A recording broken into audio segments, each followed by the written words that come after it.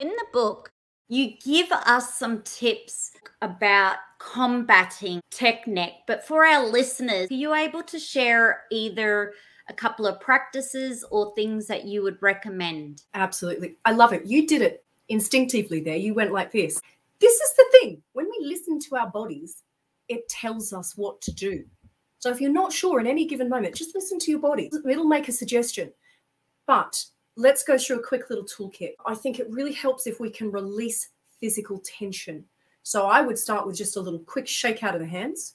Now, with that, you are flicking away whatever it is that you no longer need. You feel it leave the building. And then a little bit of gentle exertion can be the gateway to physical letting go. Now, if I were to just say to you, hey, relax, we can let go a little, but that physical exertion helps us physically relax. So let's try a couple. Let's do a clasp and squeeze. Okay. Uh, like you're clapping and then wrap your hand and squeeze. And then alternate which hand you have on top.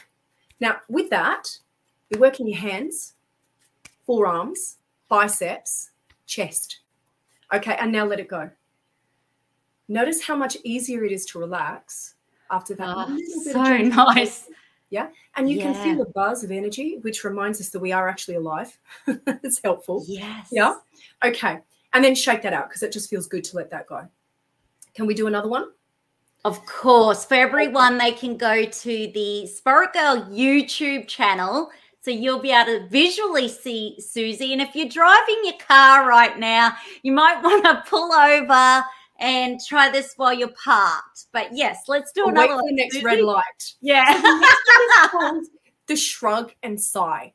So it, let's get the whole arm involved. So if we can squeeze the fist, bend the arm, get your biceps involved. Now squeeze your shoulders up to your ears, squeeze. And if you want to, you can get your face involved too. Squeeze your face into a little tiny sultana shape. Squeeze, breathe in. And as you exhale with a sigh, oh, let it go. and if you were to do that a couple of times, oh, we definitely feel lighter and brighter.